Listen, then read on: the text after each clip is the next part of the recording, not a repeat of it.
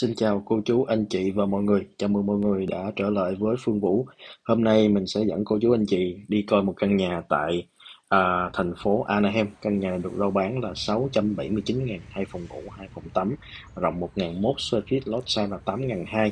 À, tại sao à, họ có, có cái giá mà à, khá là hấp dẫn so với cái thị trường hiện tại như vậy. Thì hôm nay mình sẽ đi coi một vài khung cảnh bên trong và bên ngoài đưa đến cái nhận xét của mình đến cho mọi người.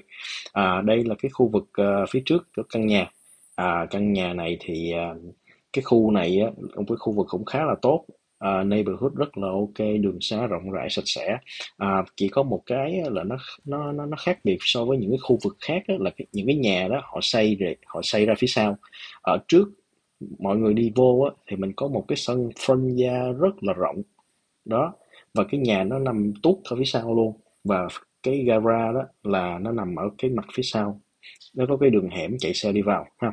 Đó mọi người thấy đó thì nói chung ra đó thì à, à, mình không biết là có xây được ADU hay không ở phía trước nhưng mà mình biết chắc chắn rằng nó gara rất là rộng và có thể convert lại được thành một cái ADU khác.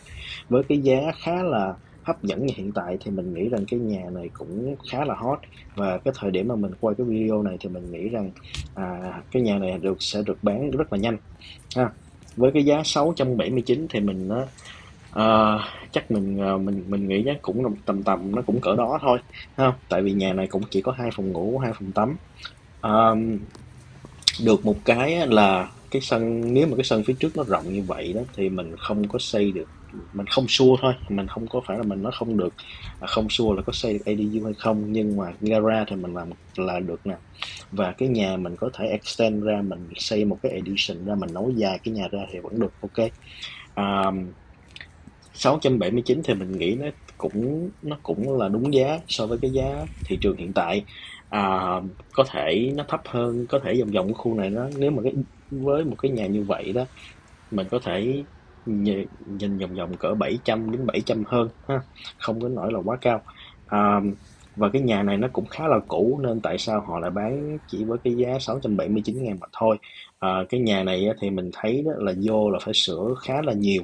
À, Đồ đạc thì mình thấy là nó đã cũ hết trơn rồi, mình vô là mình phải thay và sửa lại toàn bộ. Nhưng mà mình thấy trước trước mắt thì không có cái gì bị nghiêm trọng cả. À, bên ngoài và bên trong thì chỉ cần sơn sửa lại ha. Có những cái chỗ gỗ mục này nọ thì thay, à, thơ mai thì à, chùm mối lại thôi. Đó. À, cái nhà này thì mình thấy uh, phòng ngủ phòng tắm nhà bếp này nọ là đều đều là toàn đồ cũ hết nha. Ví dụ như mình mua 679 ngàn đi mình bỏ chắc cũng khoảng uh, nếu mà không xây gì thêm á, thì bỏ đi chừng 50 cho đến trăm ngàn nữa để thay toàn bộ à, toàn bộ lại. Đó. À, đây là cái khu vực kitchen nè mọi người ha. Thì khu vực kitchen là mọi người thấy đó là à, appliances này nọ nè à, countertop này nọ là coi như là cũng cũ hết trơn rồi thạch sàn thì cũng phải thay. À, nhưng mà mình thấy thì cái địa điểm và cái um, um, cái khu vực của căn nhà này là một có cái, cái điểm cái điểm cộng ha địa điểm đó.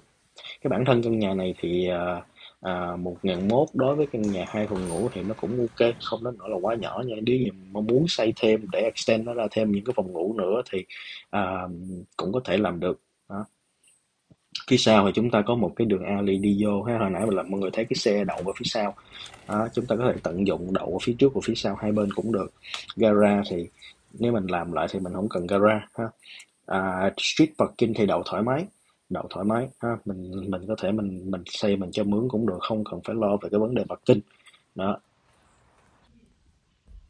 Rồi bây giờ um, chúng ta coi là những cái phòng tắm nha mọi người ha.